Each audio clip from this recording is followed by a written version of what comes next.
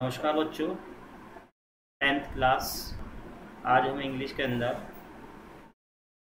Video में हम ए letter to God का का पार्ट पढ़ेंगे। इसका पहला पार्ट जो है, पढ़ाया जा चुका था पैराग्राफ वहाँ तक आगे कि चार तक पढ़ा दिया था। अब हम पढ़ेंगे पैराग्राफ नंबर पाँच में। लेकिन उससे पहले पैराग्राफ नंबर चार की थोड़ी सी मैं बात बताना चाहूँगा। मैं बताया था आपको कि लेंचो ने सोचा कि भाई, ये जल्दी से तूफ़ान बीत जाएगा, लेकिन तूफ़ान नहीं बीता और बहुत देर तक जो है, वहाँ बारिश होती रही और क्या कहते हैं, ओले पड़ते रहे। तो इसमें यहाँ तक करा दिया था, वो उसकी आत्मा बहुत दुखी थी और वो अपने खेत के बीच में खड़ा हुआ था।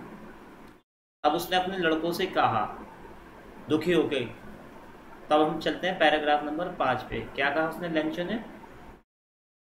A plague of locusts would have left more than this एक टिड्डी दल भी इससे अधिक छोड़ देता है।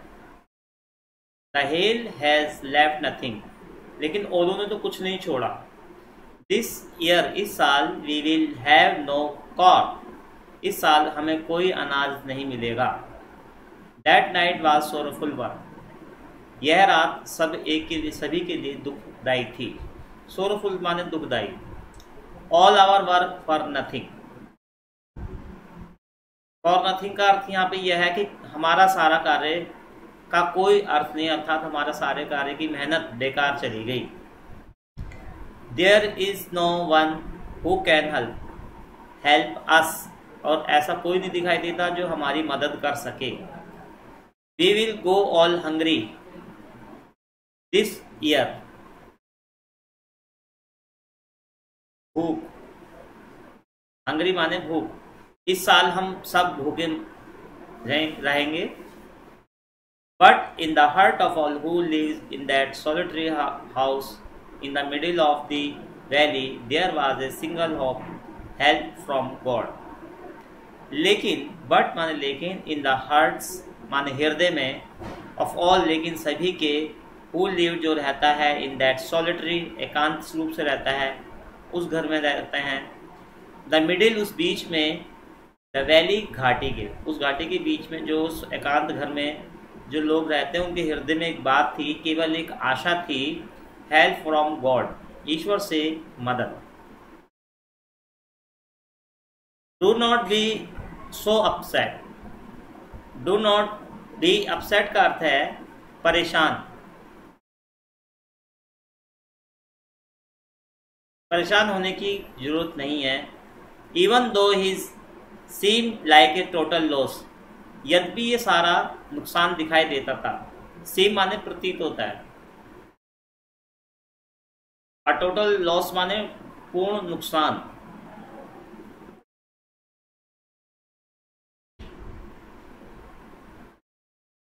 रिमेंबर याद रखो no one dies of hunger भूख से कोई नहीं मरेगा। डाइज ऑफ़ हंगर भूख से मरना। भूख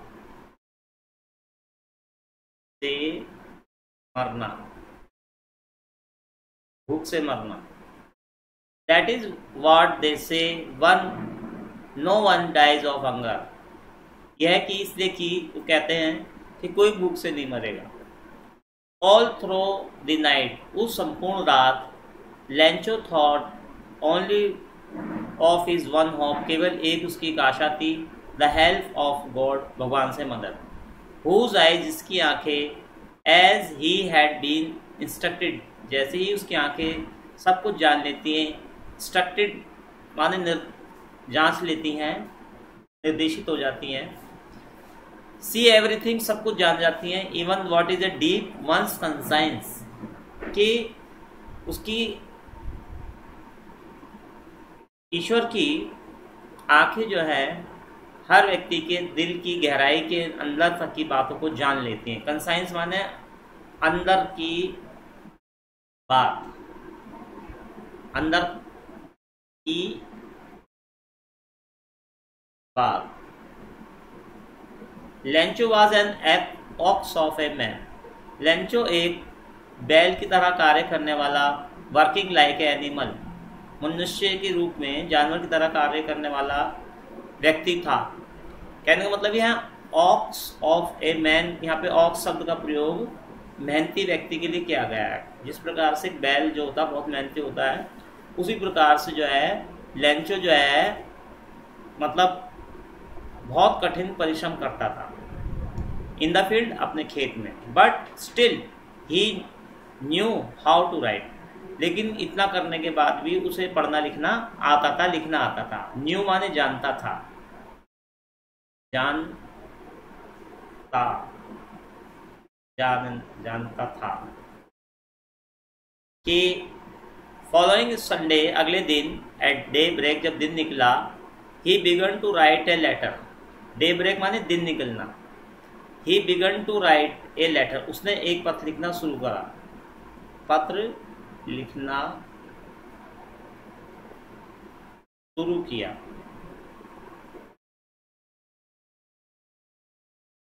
Which he himself would carry to town and place in the mail जिसे वो स्वयं उस पर उस जब अगले दिन संडे के दिन था दिन निकला और उसने जो है एक पत्र लिखना शुरू कर दिया और उसे लेके वो शहर जाएगा और उसे मेल कर देगा। मेल माने डाक घर में डाल देना। डाक घर में भेज देना। बच्चों डाकघर वो होती जगह होती है जहाँ पे चिट्ठियाँ भेजते हैं और चिट्ठियाँ आती हैं। तो वो एक डिपार्टमेंट होता है डाकघर पोस्ट ऑफ़िस तो उसमें हम जो चिट्ठियाँ डालते हैं उसको मेल कहते हैं। M A I L mail माने भेज देना कुछ अपनी चिट्ठी पत्री वगैरह तो लेंचो ने अपनी चिट्ठी जो है, वो उसे वहाँ डालेगा शहर में। It was nothing less than a letter to God ये इसमें कुछ नहीं था, केवल एक ईश्वर को लिखा गया एक पत्र था लेटर टू गॉड तो आइए हम दूसरे पेज की ओर चलते हैं। गॉड ही रॉड उसने क्या लिखा? कि हे ईश्वर, हे भगवान if you don't help me यदि आप मेरी मदद नहीं करते my family and I will go hungry this year मैं और मेरा परिवार इस साल भूखे मर जाएँगे। आई नीड ए हंड्रेड पैसोज मुझे सौ रुपये की ज़रूरत है। कितने पैसे की ज़रूरत है? सौ रुपये की। सौ रुपये in order to sow my field again sow माने बीज बोने के लिए। जैसे हम खेती में बीज बोने के लिए तो खेत को दोबारा से बोने के लिए मुझे सौ रुपये की आवश्यकता है। And live until the crop comes become because the hail storm जब तक कि दूसरी फ़सल नहीं आती मुझे सौ रुपये की आवश्यकता है कि मैं दोबारा से खेती कर सकूँ, क्योंकि ओलो ने, उसने अधूरी बात ही दिखाई, लिखी कि कि उसने कारण बताया कि मुझे सौ रुपये क्यों चाहिए? उसने कहा कि मेरे ओलो ने जो सारी फ़सल नष्ट कर दी, इसलिए मुझे दोबारा फ़सल बोनी है। ही रोट उसने ये भी लिखा टू गॉड ईश्वर को। टू गॉड का मतलब है सेवा में, भगवान।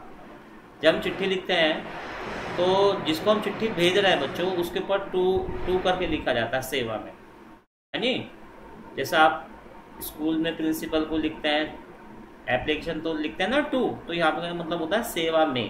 तो उसने ऊपर चिट्ठी में लिखा टू गॉड सेवा में भगवान। ऑन द एनवलेफ लिफाफे पर। But the letter inside and still trouble और उस पत्र में अभी भी कुछ दिक्कत थी। वैन टू टाउन उसे लेके पर मुश्किल से शहर गया। एट द पोस्ट ऑफ़िस तब वो पोस्ट ऑफ़िस पहुँचा। He placed a stamp on the letter तब उसने जो है उस चिट्ठी के ऊपर मोहर लगाई। स्टैम्प माने होता है प्लेस ए स्टैम्प का मतलब है मोहर लगाना।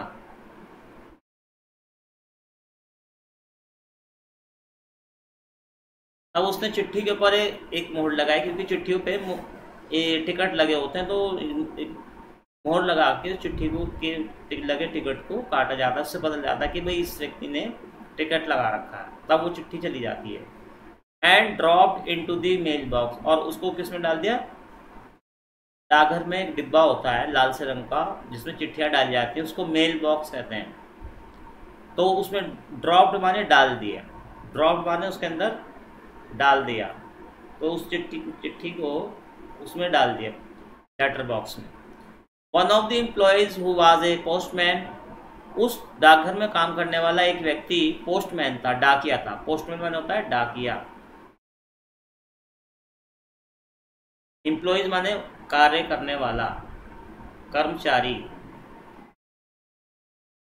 डाकघर में कर्मचारी था जो डाकिया था। Also help at the post office और ऑफ़िस में कुछ कार्य भी करता था मदद के।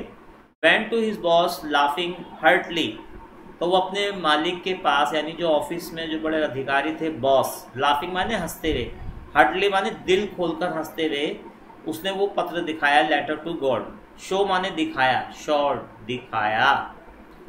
द लेटर टू गॉड ईश्वर को लिखा हुआ पत्र दिखाया. जब लेंचू ने अपना पत्र डाल दिया तो उसमें पास्ट ऑफ़िस में, एक डाकिए ने वो चिट्ठी उठाई और उस चिट्ठी को देखा कि इसे, किसी ने भगवान को लिखा है. तो वो हंसता हुआ इस बात को देख के अपने मालिक के पास गया। Never in his career a postman एक पोस्टमैन के कार्य करते हुए अपने जीवन में ही नॉन दैट एड्रेस वो कभी ऐसे पते के बारे में जान पाया, क्योंकि डाके जो होते हैं, उसमें चिट्ठी भी पता होता है उसको देख के ही चिट्ठी पहुँचाते हैं। तो उसकी इतनी ज़िंदगी हो गई थी कि उसने अपने जीवन में ऐसा लिखा पत्र कभी नहीं देखा था कि किसी ने भगवान को पत्र लिखा हो। एड्रेस जब भगवान का कोई एड्रेस ही नहीं था तो वो चिट्ठी को देख के उसे बड़ी हैरानी हुई। The post master a fat amiable fellow और उस पोस्ट ऑफ़िस का जो अधिकारी था, वो एक मोटा था। थोड़ा हेल्थ में मोटा था। एमिएबल फेलो का मतलब यहाँ पे है मित्रवत। एमिएबल फेलो मित्रवत, मिलनसार। से हम कह देते हैं। मिलनसार ब्रोक आउट लाफिंग उसकी भी हँसी फूट पड़ी. ब्रोक आउट माने फूट पड़ी.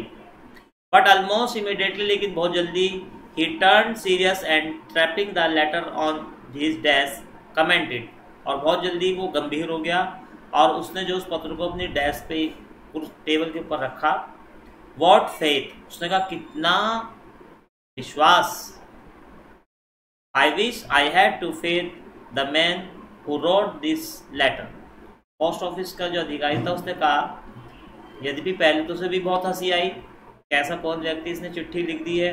लेकिन फिर बहुत जल्दी वो गंभीर हो गया, सीरियसली, और उसने उसको लेटर को, पत्र को अपनी टेबल पर रखा और उसने एक बात कही कमेंटेड क्या कमेंट किया? वॉट फेथ कितना बड़ा विश्वास? आई विश मेरी इच्छा है I had the faith the man हमें उसका विश्वास बनाए रखना चाहिए। हैड द फेथ का मतलब है विश्वास बनाए रखना। विश्वास बनाए रखना।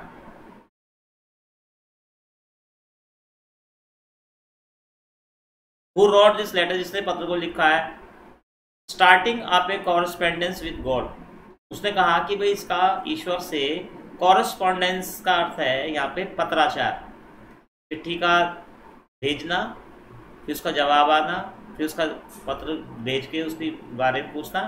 तो पत्रों के आदान प्रदान को कॉरेस्पॉन्डेंस कहते हैं। तो उसने कहा कि ईश्वर से इसका कॉरेस्पॉन्डेंस बना रहे। Correspondence C O double R E S correspondence P O N D E N C condense पत्राचार। अब हम चलते हैं पैराग्राफ नंबर सिक्स पे।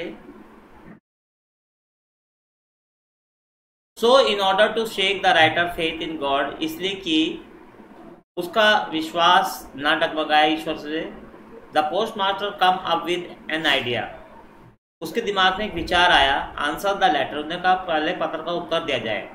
But when he open it लेकिन जब उसने उसे खोला इट वॉज़ एविडेंटली खाली था दैट टू आंसर इट कि इसको जवाब देना है। He needed a something a more than goodwill और इस पत्र में अच्छाई की आवश्यकता थी। गुडविल माने अच्छाई, भलाई की। इंक एंड पेपर और एक पत्र को लिखने के लिए इंक की आवश्यकता थी कागज़ की। But he struck to his resolution लेकिन उसने अपनी बात जारी रखी। He ask for money from his employees उसने अपने काम करने वालों से पैसे मांगे आस पैसे मांगे एम्प्लॉयज़ का। He himself gave part of his salary उसने अपनी तनख्वाह का भी एक भाग दिया and several friends of his work oblige to give something for an act of charity और उसके जो कार्य करने वाले, जो उसके ऑफ़िस में लोग थे, मित्र भी थे, उन्होंने सबने कुछ ना कुछ भलाई के कार्य के लिए उसमें पैसे दिए। फॉर एन एक्ट का अर्थ है यहाँ पे चैरिटी भलाई के लिए, भलाई हेतु चंदा। मतलब जब हम कोई किसी के भला करते हैं तो हम पैसे इकट्ठा करते हैं for an act of charity और ओबलाइज मतलब है, सहमति से अपने, उन्होंने अपने आप को उसमें पैसे दिए, अपने अधिकारी को, कि भाई उसका भला हो जाए it was impossible for him to gather together the hundred पैसों पॉसिबल माने होता है संभव, और इम्पॉसिबल माने असंभव, परेशानी। असंभव असंभव। क्योंकि सौ रुपये इकट्ठा करना थोड़ा मुश्किल था so he was able to send the farmer only little more than half इसलिए उन्होंने उस किसान को आधे से थोड़ा अधिक पैसे ही उसे भेजे, यानी आधा सौ का आधा पचास, और लिटिल मोर माने थोड़ा सा और अधिक, यानी सत्तर या पिछहत्तर पैसे, रुपए उसे भेज दिए। He put the money in and और उन्होंने उस पैसों को पत्र में डाला एड्रेस टू लेंचो और उसके ऊपर एड्रेस लिख दिया लेंचो का लेंचो को मिले। And with then a letter containing only a single words as a signature God और उसके पत्र के अंदर, अंत में उसने, उन्होंने क्या करा? ईश्वर नाम के साइन कर दिए कि ईश्वर ने भेजे हैं। सिग्नेचर कर दिए। और सिग्नेचर हस्ताक्षर। जैसे हम एप्लीकेशन लिखते हैं तो हम अपना नाम लिखते हैं तो इसी प्रकार से उस पे पत्र में गॉड जैसे उन्होंने गॉड ने पैसे भेजे लिख दिए। आइए हम चलते हैं पैराग्राफ नंबर सेवन और एट पे। द फॉलोइंग संडे अगले इतवार Lencho come a bit earlier usual to ask अगले इतवार लेंचो थोड़ा जल्दी आ गया, जैसे उसकी आदत थी, उसने अपनी आदत के अनुसार पूछा। If there was a letter for him उसने कहा कि मेरे लिए कोई पत्र है। It was the postman himself who handed the letter to him. While the postmaster experiencing the contentment of man who has perform a good deed looked on from the doorway of his office. It was the postman himself. वो postman उसने खुद ही उस पत्र को उसको सौंप दिया। Handed माने होता है सौंप देना। तो ही उसे अपना पत्र दे दिया और पोस्ट मास्टर जो था, जो एक अनुभवी और संतोष लायक व्यक्ति था। कंटेंटमेंट का अर्थ है मतलब धैर्यशील व्यक्ति। हैज़ परफॉर्म जिसने पेश किया ए गुड डीड भलाई का कार्य। गुड डीड माने भला कार्य। भलाई का कार्य। भलाई का कार्य good deed look on from the doorway of his office जो अपने ऑफ़िस में बैठकर वो ये सब चीज़ देख रहा था, वो एक धैर्यशील और एक अच्छा व्यक्ति था। Lencho showed not the slightest surprise on seeing the money जब लेटर उसे मिल गया तो लेंचो ने अब सीधी सरप्राइजिंग का अर्थ यहाँ पे हैरानी। स्लाइड का मतलब है सीधे ही उसने अपनी हैरानी तो नहीं जताई कि भाई इतनी जल्दी मुझे पत्र मिल गया, इसका पैसा भी मिल गया। सच वाज हिज कॉन्फिडेंस देखो उसका कितना आत्मविश्वास था। कॉन्फिडेंस माने आत्मविश्वास। उसका कितना विश्वास था। But he become angry when he counted the money लेकिन जब उसने पत्र खोला और उसको पैसों को गिना तो बहुत जल्दी वो नाराज़ हो गया। God could not have made a mistake ईश्वर तो कोई गलती कर ही नहीं सकता nor could he have denied Lencho want he had requested और ना ही ईश्वर लेंचो की मांग को ठुकरा सकता है डिनाइड माने मना कर सकता है। लेंचो ने कहा, जब उसने पत्र खोला, उसने देखा, उसमें पैसे हैं तो उसने ये हैरानी तो जताई नहीं कि ये पैसे जल्दी आ गए, बल्कि उसने जब पैसों गिना तो नाराज़ हो गया और उसने कहा कि ईश्वर जो है, कोई गलती नहीं कर सकता और ना ही वो मुझे मना कर सकता है कि जो मेरी मांग थी। ही हैड रिक्वेस्ट जो उसने प्रार्थना की थी।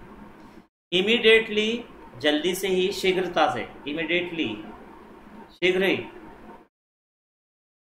Lencho went up to window to ask the paper तब वो खिड़की के पास गया और उसने कहा कि भाई मुझे एक कागज़ दे दो और एक कलम, पेन दे दो। On the public writing table public writing table का मतलब है सार्वजनिक टेबल जब हम किसी ऑफ़िस या दफ्तर में जाते हैं, जैसे बैंक में जाते हैं तो जिन टेबल और कुर्सी पर बैठ के हम कार्य करते हैं, वो पब्लिक राइटिंग टेबल कहलाती है यहाँ पे, जैसे पब्लिक राइटिंग टेबल तब वो लेंचो उस पत्र को लेके जहाँ सब लोग बैठते थे कुर्सी मेज पे उस पर लिखने लगा he started to write with much wrinkling W R I N K L I N G N G wrinkling का मतलब है त्योरी चढ़ाकर, क्रोध में अपनी भौएँ चढ़ाते हुए। उसकी मतलब माथे पे बल पड़ गए। रिंकलिंग का मतलब है शिकन माथे पे बल पड़ना। माथे पर शिकन क्रोध की। गुस्से की उसकी जो माथे की जो बल थे, उसने जो है ब्रो, ये ब्रो माने आँखों की भौ।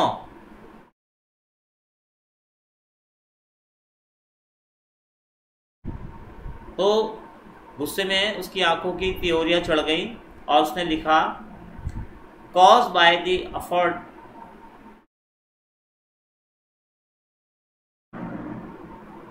प्रयास से he had to make a express his ideas express माने व्यक्त किए। एक्सप्रेस माने व्यक्त किए। हिज आइडियाज़ माने विचार। उसने अपने विचार उस चिट्ठी में लिखे। वैन ही फिनिश्ड जब उसने पत्र समाप्त किया he went to the window तब वो खिड़की पे गया टू बाय ए स्टैम्प उसने टिकट खरीदा। स्टैम्प माने ticket. Which he licked and then तब उसने जो है अपने थूक से उसको एफिक्स कर दिया, चिपका दिया। On the envelope with a blow of his fist blow of his fist मतलब घूसा मारकर। घूसा मतलब ऐसा करके घूसा मार के उसे चिट्ठी को पे जो है, अपने थूक लगा के और वो जो है उसे गीला करके टिकट को चिपका दिया। The moment that the letter fell into the mailbox उस समय उसने जो है, उस पत्र को जो है, डिब्बे में डाल दिया। The postmaster went to open it set तब पोस्ट मास्टर गया, उसे खोला। उसमें क्या लिखा था पत्र में? जब लेंचो ने क्रोध में आके वो चिट्ठी लिखी और अपनी मन की भावनाएँ लिख दी और उसको लेटर बॉक्स में डाल दिया तो पोस्ट मास्टर ने उस पोस्ट ऑफ़िस का जो डिब्बा था, उसको खोला और उसे में जो उसकी चिट्ठी थी लेंचो की, उसे निकाल के पढ़ा। क्या लिखा था उसमें? गॉड हे ईश्वर ऑफ़ द मनी वो जो पैसा that I had I ask for जिसके लिए मैंने आपसे कहा था ओनली सेवेंटी पैसों, केवल मुझे कितने सत्तर रुपये ही मिले हैं। रीच में मेरे पास पहुँचे। कितने रुपये पहुँचे? सत्तर रुपये सैंड में मुझे भेजे रेस्ट लेकिन आप जो पैसे भेजना, थोड़ा रुक के भेजना। सिंस आई नीड जब की मुझे ज़रूरत है वेरी मच लेंचो ने भगवान को कहा कि, हे ईश्वर, मुझे पैसे की आवश्यकता है, मुझे सत्तर रुपये मिले हैं, लेकिन जब कोई पैसा भेजोगे, थोड़ा but don't send it me through the mail लेकिन अब इसे जो है मेल के द्वारा मत भेजना। डाक के द्वारा मत भेजना। Because the post office employees are a bunch of crooks उसने कहा, लेंजो। उसने कहा, जो पोस्ट ऑफ़िस में काम करने वाले लोग हैं, वो बेईमान लोग हैं। बंच ऑफ़ क्रुक्स का अर्थ यहाँ पे है, बेईमान लोग।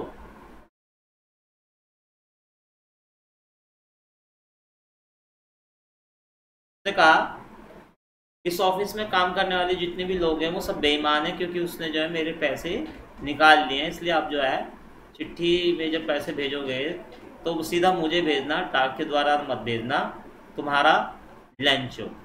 उसने अंत में अपना नाम लिख दिया और वो चिट्ठी वहाँ डाल दी। तो इस प्रकार से देखते हैं कि लेंचो एक बहुत ही सीधा साधा आदमी था।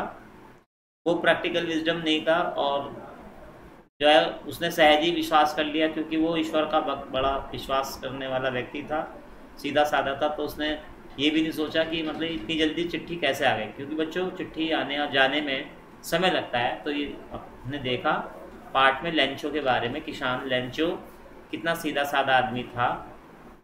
अब इसके नीचे कुछ ग्लोसरी दे रखी है तो उसके वर्ड मीनिंग हम समझ लेंगे। जैसे क्रेस्ट यानी पीक, यानी चोटी। इंटीमेटली माने घनिष्ठता से, यानी क्लोजली प्रेडिक्टेड माने होता है मेड ए फोरकास्ट भविष्यवाणी की। अप्रोचिंग कमिंग यानी आते हुए एक्सप्रेशन लुक भाव या मुद्रा ट्रैप्ड यानी ढकावा कवर्ड विद हेल स्टोन्स माने होते हैं, ओले पीसीस ऑफ़ फ्रोजन आइस और लोकोटस माने होता है टिड्डी दल। माइग्रेटरी विंग माने आक्रमण अटैक और कंसाइंस माने मन की अंतर आत्मा।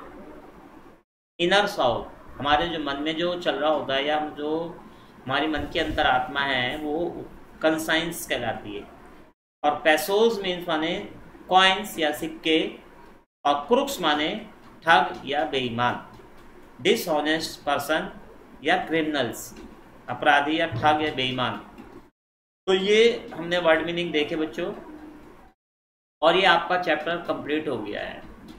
इससे पहले आपको एक चैप्टर करा दिया था और ये चैप्टर अब आपको ये भी कंप्लीट हो गया है।